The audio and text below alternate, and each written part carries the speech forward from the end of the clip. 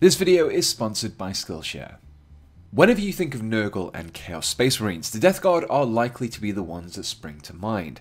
There are of course the poster boys for Papa Nurgle, and their distended stomachs, oozing weapons and pockmarked armour indicate this.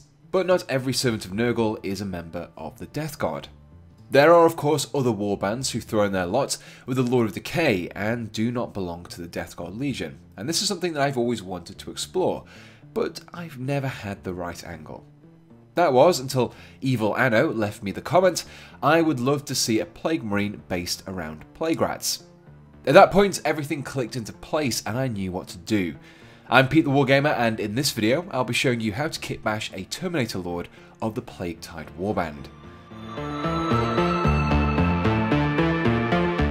I'll be giving this conversion a difficulty rating of 3 dead animal bits out of 5. There is no sculpting involved, but there are a fair few parts that need to be sourced from various kits, as well as a little scratch building involved too. The Chaos Terminator set is a really nice kit. It has much better scaling than its Loyalist counterparts, and the detailing and options are great too, so this will serve as the basis for my Lord of the Plague Tide. This model would really lean heavily into the vermin aspect of the warband, and so I chose one torso in particular, the one with the large amount of fur around the waist. This matted mass of hair would look great as a jumble of rat pelts.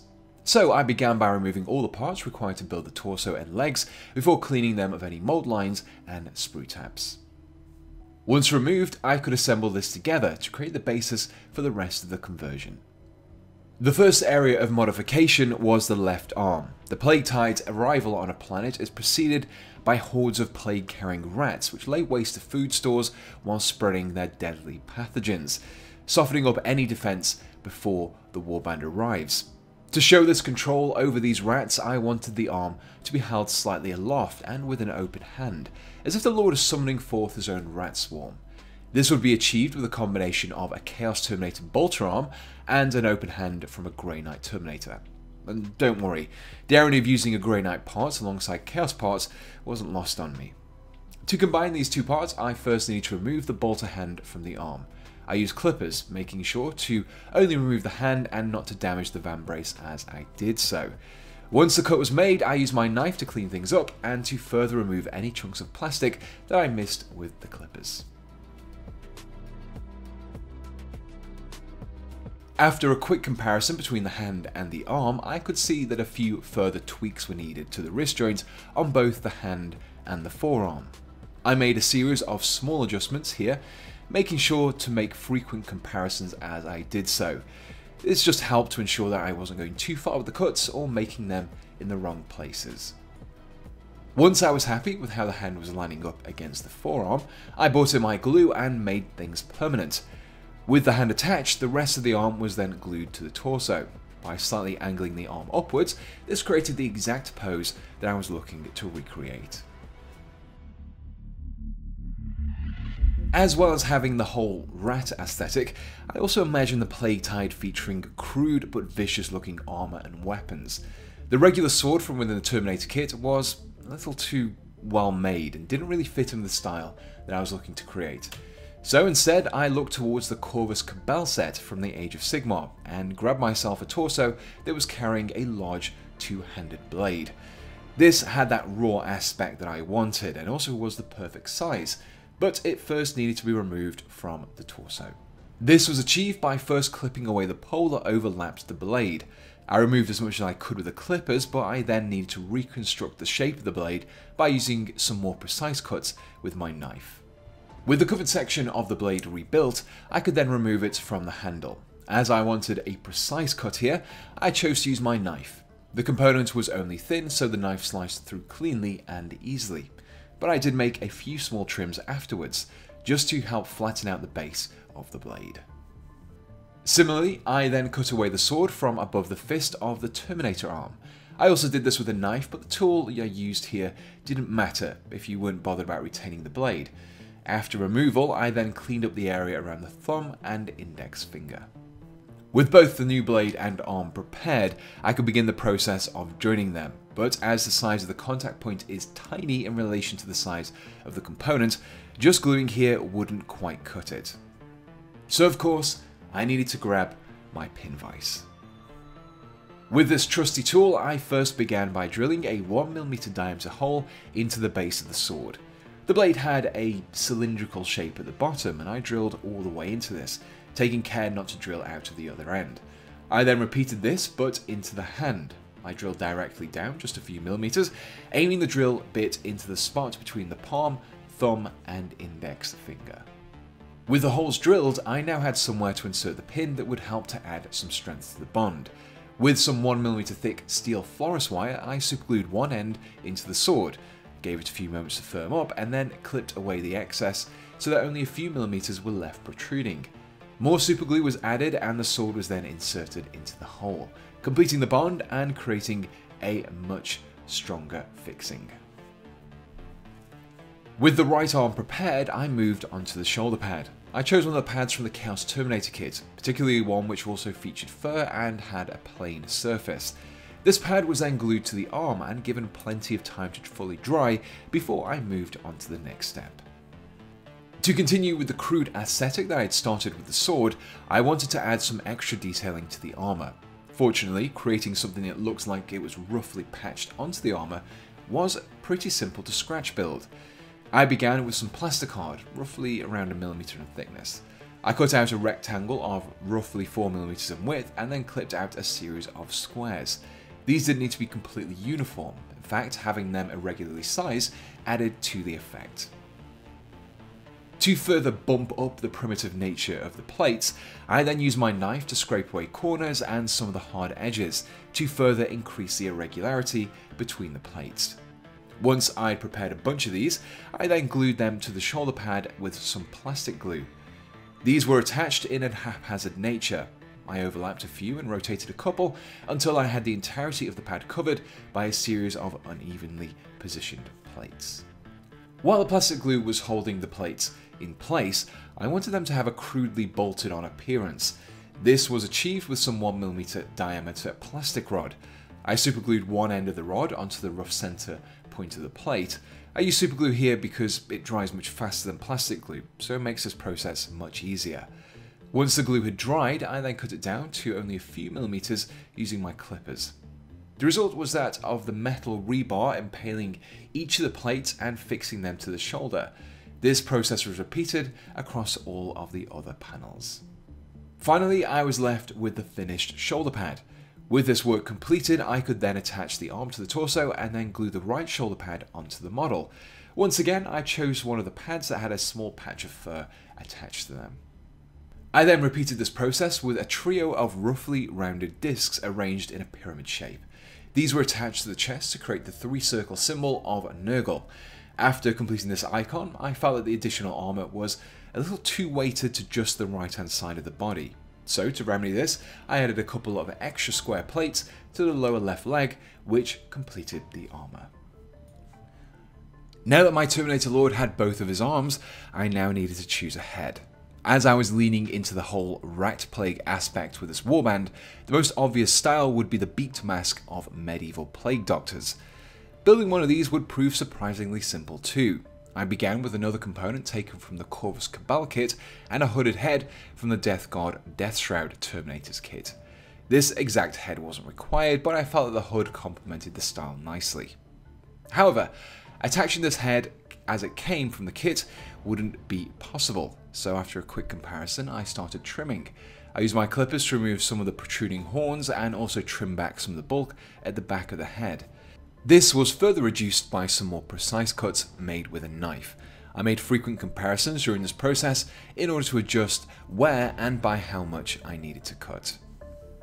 Once I was happy with how the head was fitting into the Terminator's torso, I moved on to attaching the bird beak. I did my initial comparison and then started the adjustment. The small section of skull was the first thing to go. It was removed my clippers so that just the beak remained. This was followed by some flattening out of the back end of the beak. Finally, I clipped the slightly peaked face plate of the Death Deathshroud helmet to create a flatter surface. Once I was happy that the two parts were lining up nicely, I glued the beak to the head and then attached the head to the torso, completing the Plague Doctor look. Normally in my conversion guides, I tend to skip over the basing part. these are often quite a personal choice, and I don't tend to have much of a bearing on the conversion itself. However, a big part of the Plague Tide are the hordes of rats that precede and accompany the warband, and this is something that I wanted to represent on the model. But to do this, I first needed to mount my lord onto a slightly raised piece of scenery. I grabbed a piece of 40k scatter terrain and compared it against my 40mm base. The scenery was much too large, so I had to cut it down to size. Due to how thick the part was, I opted to use my saw to cut away part of the panel before cleaning up the edge. I removed a chunk that was the right size and shape to fit nicely onto a 40mm base. But I also wanted something that would also be flat enough for the Terminator Lord to stand upon. With a lump of rubble removed, I compared this against the base and then brought in the Lord. This was just to make sure that I could place the miniature on top of the rubble in a realistic position. Once I was happy with where the base should go, I glued this into place. By this stage I had the central lump of scenery, but the rest of the base was pretty bare. To help bulk out the rubble, I decided to cut up some lengths of sprue. I used my clippers to cut up some of the struts into rough brick shapes. These were then trimmed along their edges and corners to create more irregularly shaped pieces of debris. Once I had built up a few of these, I then glued them around the edges of the base. There were a few gaps here and there, so the rubble was great for plugging those up. Now that my base was looking a little fuller, I could think about how my marine would be attached. And that would of course be with even more pinning. I drilled a hole into the back foot and then another into the central rubble pile. I positioned this at a point where I intended to attach the back foot. Into the hole in the base, I superglued some more wire and clipped it so that only a few millimeters were left poking out. I intended to paint the Lord separately from the base, so this protruding wire would give me somewhere to attach the Marine to once I was done. It also made sure that I knew exactly where the miniature would stand, which would be important for the next step. Even though I've alluded to it a few times already, by this point in the build I hadn't actually included any rats yet. So to fix this, I grabbed myself a Skaven Endless Spells kit. There are a few places to find a lot of individual rats, the Skaven Doomwheel and Giant Rats for example, but by far the best are those that make up the Vermintide. From the sprue, I removed a few of the rats, but many of these were already attached to rocks or each other, so I had to very carefully separate a few of these by using a combination of my clippers and my knife. After removing several of these rats, I then set about gluing them to both the base and the Terminator Lord himself. I positioned the rats on the base so that they were swarming forwards, and I also glued a few climbing up the back of the Lord as well. When combined with the raised hand, this would create the appearance they were being summoned forth and controlled by the Marine himself. Once I was done, I was left with the following base. While most of it had been covered in a rubble or rats, there were a few patches here and there that were pretty featureless. So to fill in these gaps, I used some textured paint. I chose to use some Vallejo textured paint, but some of the Citadel textures could also be used instead. I painted this into all the remaining gaps which helped to fill out the base and also maintain that urban rubble theme that I had already created. And with that, I just needed to paint both the base and the miniature, but before we take a look at the finished model, here's a little bit about Skillshare, the sponsors of this video. Skillshare is an online learning platform that offers you a whole bunch, thousands in fact, of classes that cover a vast range of topics, from illustration, design, photography and video to marketing, business analytics and leadership. When I'm not making YouTube videos, I work as a software developer by day, and both myself and my colleagues have found the courses offered in web development to be a great help. The JavaScript Toolkit by Chris Heilmann is full of useful tips that are presented in an enjoyable format. It has also been invaluable in helping me to brush up on my web development skills and keeping me up to date with the latest practices and technologies. Everything is done at your own pace, there is no pressure to complete classes within a set time frame, and there are no ads to interrupt your learning, and there are new classes being launched all the time. It's a great way to make use of that extra free time that you may have in a productive way. All this is available for $10 a month when bought as an annual subscription, but the first thousand to click the link in the description will get a free trial of Skillshare Premium membership. So, back to that conversion.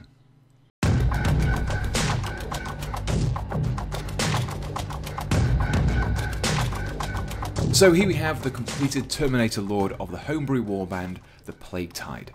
I painted the armour as a rusted silver and made extensive use of washes and contrast paints over a metallic base coat to create that corroded and weathered effect.